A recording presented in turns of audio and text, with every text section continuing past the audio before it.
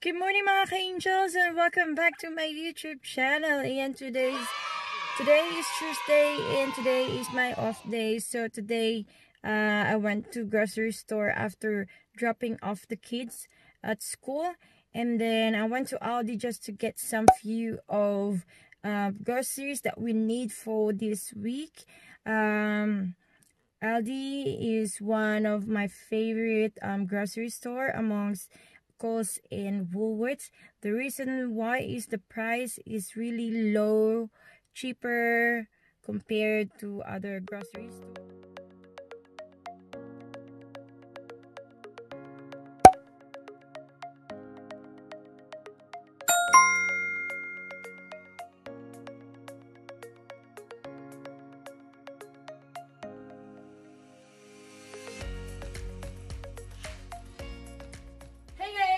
Guys! Yan, so we're here na inside our home and nababa ko ng aking mga pinamili. And actually, pagpasok ko, meron tayong naghihintay na Tantanaran! Another package from wala na namang sinasabi kung galing galing, pero galing siyang Singapore! Yan! Yan. So, ito, ano papakita ko sa inyo kung ano yung laman nito. Unahin na muna natin yung ating mga pinang grocery sa Aldi. So, anyway guys, um, ang budget ko for grocery, um, essentials, ganyan, food, cleaning stuff, um, para sa bahay is actually 300 for um, sa sa loob ng buong linggo. So, kailangan 300 lang ang budget namin sa buong linggo. So, pagkain yun, panlinis, um, uh, ano pa ba? Basta something na kailangan sa loob ng bahay. So, today, napunta ako sa Aldi and um, namili muna ako ng mga um, first half, first half talaga, first half of Bruh. the week.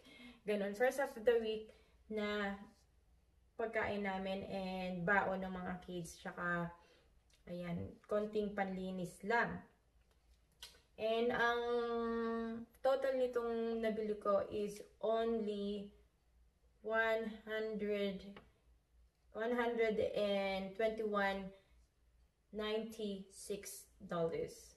So 121.96 dollars in total. Tama ba? Wait lang, let me check. Ay, sorry, mali ako, mali ko. 121.60 pala. So, sa cents lang ako nagkamali. Bruh. Anyways, so, ayan yung aking mga nabili. So, ngayon, ipapakita ko sa inyo isa-isa. But first, the- um, gusto ko muna sabihin sa inyo na yung the um, Aldi store is my favorite grocery store. Na, which is nasabi ko na sa inyo kanina. Dahil nga, because of their low prices compared to the other grocery store. Um, before, I, we used to go to Kohl's or Woolworths. Kohl's kasi Kohl's is the closest one to us. And, but when we um, started um, checking out Aldi, eh, na-compare namin na yung price niya is better than Kohl's. The difference is they don't have massive um, options of food. No, medyo pili lang.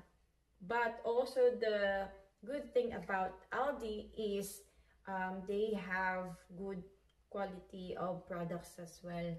And um, um, I really love it, you know, personally.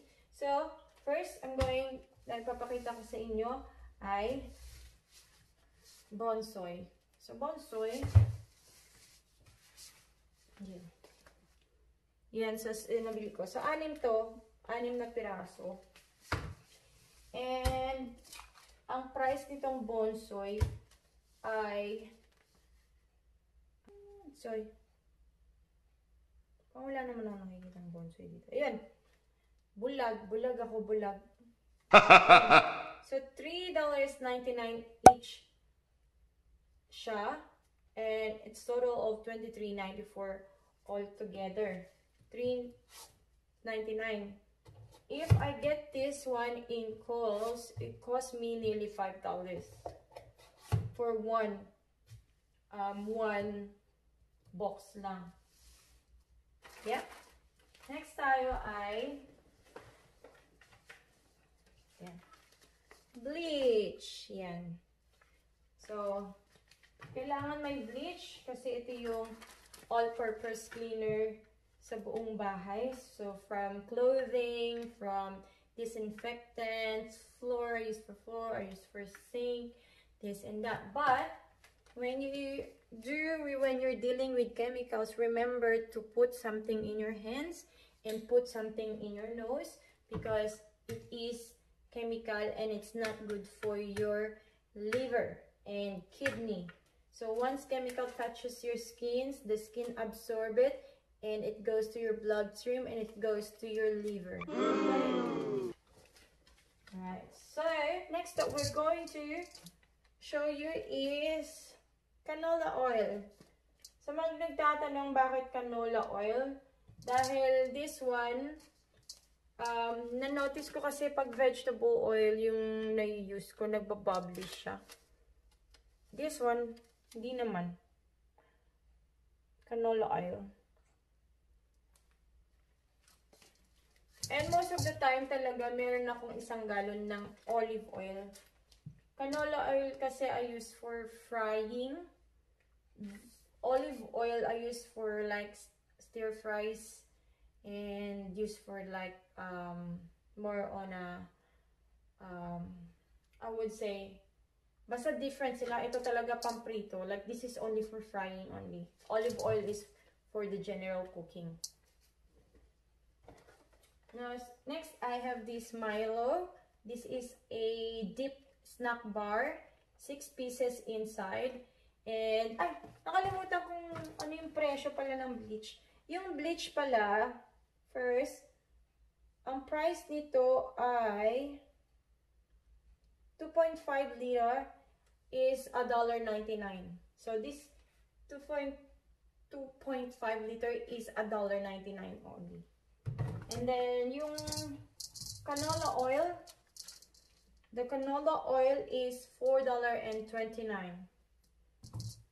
For how many liter? 2 liter. And then this one, Milo Dip Snack Bar is $2.99. Yan. So, ito yung mga baon. Baon ng mga babies. Ng mga anak ko. And then, I have this Dermavine. Yeah. So, Dermavine, because, um, you know, Sydney weather is so, um, they changes weather. So, that we have four seasons. And when I got here in Sydney, after two years, my skin got really, really dry. And until now, that's why I have, I'm suffering of a um, really bad dry skin. So I really have to use this. Actually, this is for babies, but I love using their their products because it's really uh, made for only gentle skin, so baby skin. So yeah, that's why I'm having this for my soap. I kind of also use this for my hair sometimes. Okay, next up we're going to show you. So ilang item na 1, 2, 3, 4, 5 na. So I have this brioche. Yan. This is a hot dog rolls.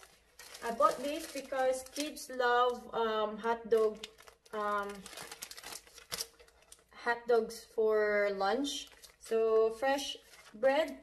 Tapos, yon yung hot dog. Tapos, yun ang kanilang lunch, to be honest. Um, they're not used to of eating rice kasi nga, um, like what I've said, the weather is so different. The food really gets cold. And pangit yung food pag malamig kaka kakainin. So, more on a sandwich, ganon, sandwich, um, yung mga ulam nila, ay mga ulam, yung mga kanilang lunch. Now, next, I'm going to show you first the price of that hot dog roll is um, where are you? Brioche. Yeah. So six pack, two dollars and sixty nine. Two dollars and sixty nine. So this I got corned beef. Two of them corned beef. So Highdale. Yeah, Highdale. And this is from yeah. Trey yeah. And then one of the my favorite um, corned beef. Siyempre, sa Philippines, ang favorite corned beef natin is Pure Foods. Ito dito. Ito yung favorite ko. Corned beef from Aldi. So, I got two cans. And the cost of this corned beef is... Asan na siya? Yeah. Two dollars and twenty-nine. Yeah. So, ano yun? For, for both na yun siya? $2.29. Yan. So, next I have grapes. So, yung grapes is this is ilang kg? Kg to?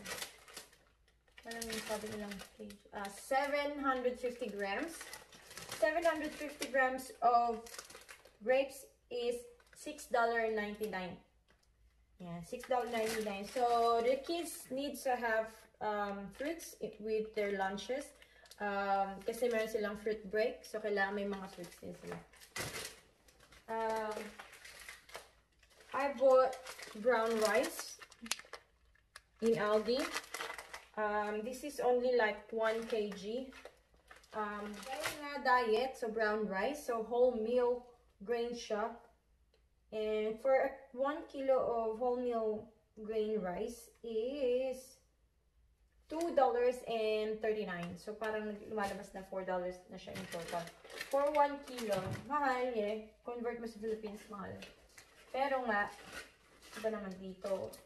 So meron akong jelly.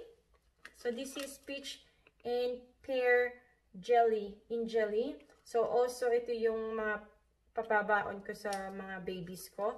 And so I also have um, this is All Natural Superfoods and macadamia and green powder bliss bowl.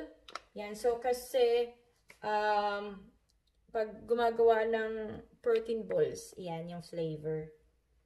Yan, bliss balls. Ito yung mga protein balls, you know, sa mga snack ng nag-workout, ganyan.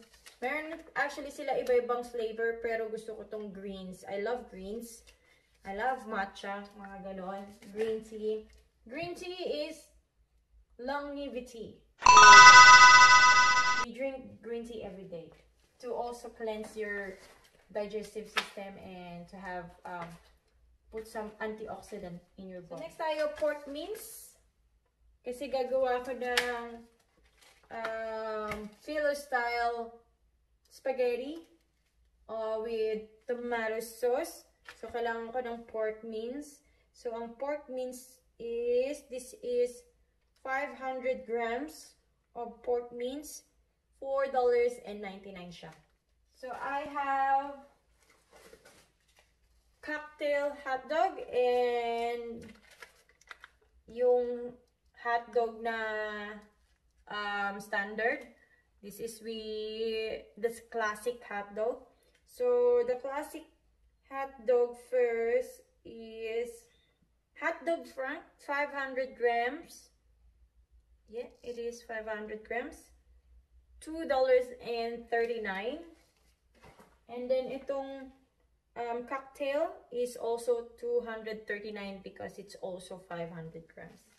We have the Frank Frankhurst um, German style hot dogs. So this is smoked saus- sausages seasoned with mild spices, onion, and garlic um, flavor. And me and Jerry loves this hot dog. Um, this is is 300 grams. Yeah, is two dollar ninety nine each. Yeah, two dollar ninety nine each. So in total of seven um two two two two two ninety nine three six dollars in total. Halloumi. Yan. Favorite favorite breakfast ko min minsan, most of the minsan is halloumi, bacon, avocado, and rice. May rice pa. Yan. So, ako kasi yung ako yung breakfast ko is savory. I like savory breakfast. Um, noon nung bata ako, I like sweet breakfast. But ito na recently, I started like um, trying to, um, you know, get used to of a savory breakfast first before sweets and stuff like that. Kasi nga, the reason we we're trying to avoid diabetes, you know, because the whole day you've been eating like um, so much food that turns into sugar. So, kailangan mag-cut down din naman. okay. Cheese, salami, 350 grams, $4.99. Mahal talaga siya kasi this is a different kind of cheese. No, ito yung mga yung alam niyo na, pang cafe, cafe cheese, gano'n. So, wala na ba? Okay. Third bag na tayo, third bag. So, nakailan na tayo? Third bag. So, I have this one. So, I have the um, omega-3 3 crunchy cluster. So, cranberry almond with flavored toasted muesli cluster combined with delicious dried cranberries, crunchy almonds, sweet honey, and touch of cinnamon. Source of omega-3. Yan, kasi hindi tayo madalas sa kuha ng omega-3 and fatty acid. So, this one, my favorite, at linalagyan ko lang siya ng yogurt and just add fresh fruit. So, this sometimes, pag kunwari, feel ko rin naman na ng medyo sweet breakfast, eto yung gamit ko. ba? Healthy siya. And then, at the same time, marami kang, may makukuha ka ng omega-3, may makukuha ka ng maraming actually benefits na pwedeng makuha dito sa sa ano natin, granola, no? Yogurt, ganon. Sometimes mag-check tayo ng mga ano na mga nutrients, minerals na nakukuha natin sa pagkain. Kasi minsan kailangan talaga natin i-balance lahat. Kasi pag kaya tayo minsan pag pumunta tayo ng doktor, sasabihin ng doktor, kulang ka sa ganyan, kulang ka sa ganyan, kulang ka sa ganyan. So, ganun. Balance lang talaga. So, I have this Vega mac and cheese. So, ito naman, um, kids loves it pag, ano naman siya, merienda time. You know, minsan pag nangingi ng merienda. So, ito yung pinibigay ko sa nila. See, this is microwavable, ready in 3 to 4 minutes meal. Um, easy to make, especially pag, for example, ikaw yung tao na super busy at wala ka ng time talagang magbuting-ting ng kusina. So, meron kang at least na mga ready to serve for your kids pag gutom na gutom na sila. Ito naman is dipits. So, ito yung may crackers and cheese. Ito yung madalas kong ipabaon sa kids. Um, also, pag nagpabaon din ako sa mga kids, balance din. So, the reason why cheese, kasi ito, it uh, gives you calcium. Um, and um, also it gives you all these um, energy, protein, and carbohydrates and sodium. Yan. So, ito yung kanilang um, snacks sa school. Mga to. So, fruits, cheese, ganyan, grapes, yung normally na pinapabaon ko sa kanila. Hot dog. Yeah. So, I got TVs. Ito naman, para naman yung tong pang treats naman to sa mga bata, no? If they're doing a good job and they're being they're being good, behave, ganyan. So, tinitreat ko naman yung mga bata. So, itong TVs, which is I also love, um, this is 170, uh, 75 grams, yeah, 170, 175 grams, $1.79 each. Tapos, so meron din akong toothbrush. So, the reason why bumili ako nito kasi ako ko talaga, kailangan ko talaga lagi may backup lagi. No, sometimes may visitors na dumadating, nakakalimutan nila yung brush nila. So, at least meron akong ready na pwede kong i-offer sa kanila. And also, every 3 months, nagpapalit tayo ng toothbrush. Hindi tayo nagpapatagal ng toothbrush. Hindi tayo yung 1 year gagamitin mo, 2 years, 3 years yung toothbrush mo. 3 months, papalitan nyo na yung toothbrush mo. so, advice lang din yun ng dentist um, sa akin. So, yan. So, may backup tayong toothbrush. And the toothbrush is uh, $14.99. Last but not least is milks. So, I got two full cream milk. I still drink milk. Um, kasi, pag tumatanda tayo, mas kailangan na kailangan natin ng calcium. We cannot, you know, take out calcium. Kasi, our body eh, kaya tayo nakakatayo because we have the bones to support our skin, our meats. Meats talaga. Yun. ba? Diba? So, calcium, kailangan na kailangan yan sa katawan, lalo na ikaw ay tumatanda. So, some, I don't know, basta ako, gatas, importante. So, milk is And the reason why karton, hindi ko binibili yung yung nasa bottle tapos ilalagay mo sa fridge because it goes off so quickly. This one, long life. No, if you just leave it in your pantry for, may, obviously there's a day, but you know, you're the one that you bought in the, um, you know, the bottle is actually, it stays for like 3-4 days use, I believe, 5 and then off. And most of the time, minsan, ma, minsan, minsan, minsan nakakalimutan uminom, sa nasasayang yung milk. So, I rather buy this one because it stays longer. So, nauubos talaga siya. Not, we, we actually finished the whole box without any spoil, no? Spoiling. Spoiling. Okay, so ang price nito ay 2 liter each, $2.29. $2.29. So, so I believe ito na yung lahat. Yan yung mga napamili ko. So, sa tatlong plastic or carry carry bags, and the items is total of um, 31 items to. $121.60 na agad ako believe me or not, if I get this in Kohl's or Woolworths, this will cost me, abot na ako ng, I believe, mga 200, less than 200, mga ganun na siya. Yeah, so talaga nakaka, ano ako, nakaka, nakaka-menos ako sa Aldi. Tsaka sobrang dami niya. Minsan, siguro 5 items, 4, 6 items lang, $50 na sa Kohl's eh.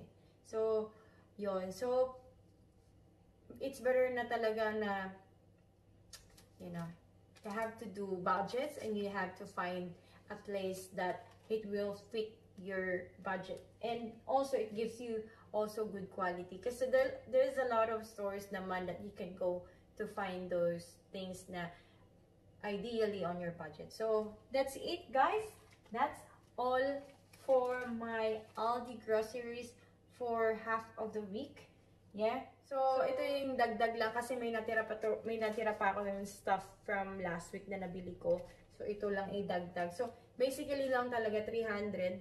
Kung kumbaga empty ang uh, empty lahat, no, wala kang wala man yung fridge mo. 300, yeah. But anyways, thank you guys so much for watching this video. Hope you like it. Sana meron kayong natutunan sa aking mga sinasabi. So, in English. So, hope you guys learn something from what I said before. Just joke. So, thank you guys so much. Yeah. So, I, I hope that you enjoy this video. I hope you got idea um, where to, to buy things.